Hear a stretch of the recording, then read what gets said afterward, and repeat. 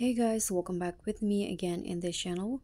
On today's tutorial, I'm going to show you how you can create this trending cutout stroke zoom opening video using the CapCut mobile. So you can just add your videos into CapCut like this, for example, and go to where you want the uh, part that you want to as the opening. So uh, for example, I'm going to go in here okay? And after that click on split. And here swipe and click on freeze. Okay so this is the freeze frame.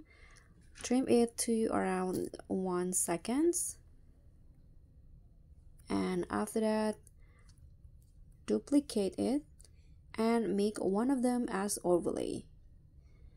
Okay so like this. Now let's remove the overlay the, remove the background of the overlay click on auto removal and here click on stroke and select your favorite stroke. So i'm going to go with the solid color. You can always adjust the size.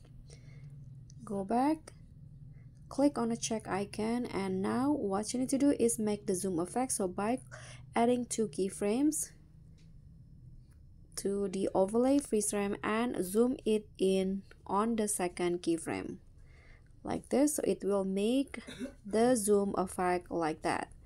So if you want you can also add a text in here.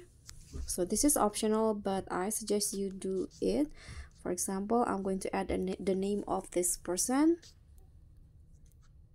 Okay you can choose the font and the style as you uh, to your liking. For example I'm going to use this. And in here I'm going to add two keyframes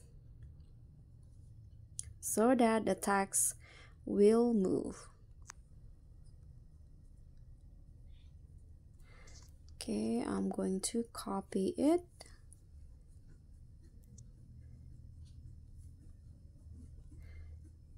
and I'm going to write the second names for example.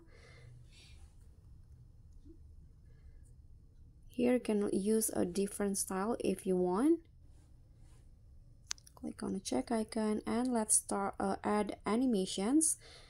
I'm going to add the throwout animation like this. Then I'm going to put it in here. Okay so this will be the result. So guys thank you so much for watching. Don't forget to like comment and subscribe. Also click on the thanks. Bye